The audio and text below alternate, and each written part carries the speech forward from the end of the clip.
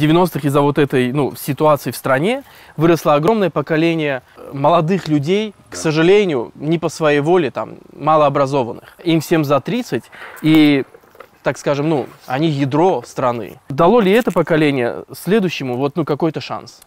Шанс э, дали те ребята, которые э, ушли воевать э, за родину.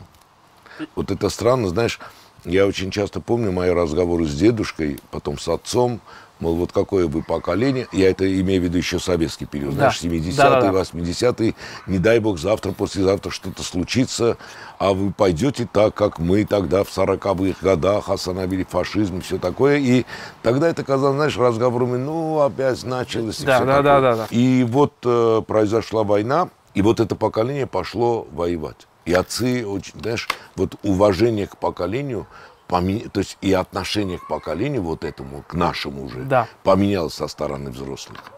Потом то же самое было у нас, вот у моего поколения, уже вот совсем недавно, в 2016